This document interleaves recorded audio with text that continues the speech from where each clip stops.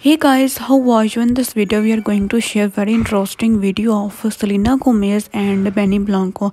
Recently a news is going viral over social media that selena gomez and benny blanco both spotted together in new york at a mall and they also had dinner at a restaurant.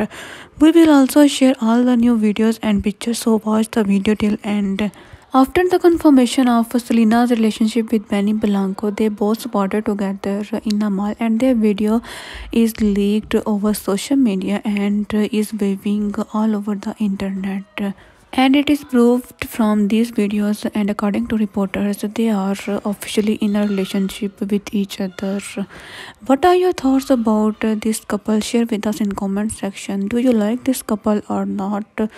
Uh, share with us in comment section and stay tuned for such more upcoming and interesting videos and updates about your favorite celebrity